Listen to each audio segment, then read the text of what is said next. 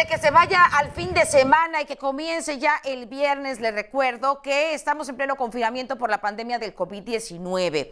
Y la próxima semana podría registrarse el momento de los picos más altos de contagios. Pero han comentado ya, incluso a través de también de diferentes memes, eh, en, eh, pues mensajes de WhatsApp, que cuántos picos hay de contagio, máximos de contagio.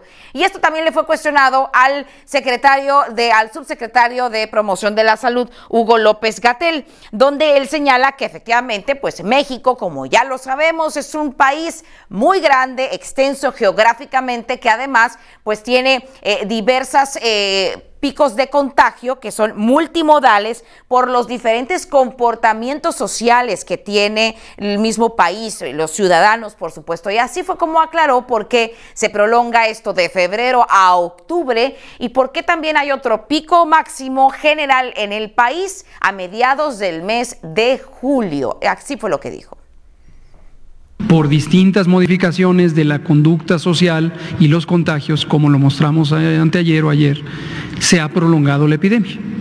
Entonces ya se desdibujó el pico, porque en lugar de pico se volvió una meseta y llevamos 22 días de meseta.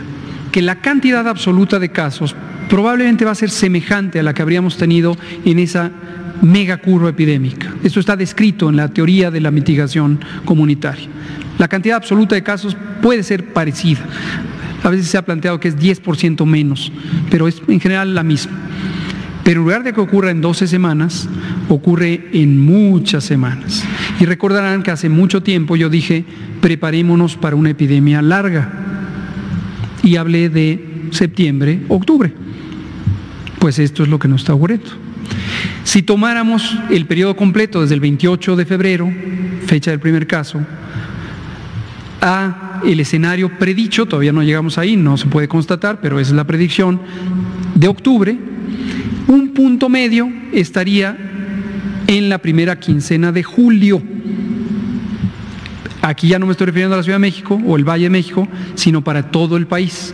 El conjunto de curvas epidémicas, tomadas todas juntas, nos llevaría a un punto medio, donde generalmente en el punto medio está la máxima carga diaria de casos y luego un descenso hasta llegar a octubre. Rebrotes. Por ahí hay gente justamente en redes sociales que se pone un poco nerviosa pensando, ¿cómo hablan de rebrotes si todavía no se acaba la epidemia? Nos referimos a eso, nos referimos a que algo ya viene en descenso y de repente empieza a subir, antes de llegar al punto final. Sí, todavía no concluyen los contagios y ya queremos andar en la calle y entonces sin cubreboca y sin usar las medidas, sin eh, mantener las medidas higiénicas y pues esto puede ocurrir también en que derive de nuevos contagios.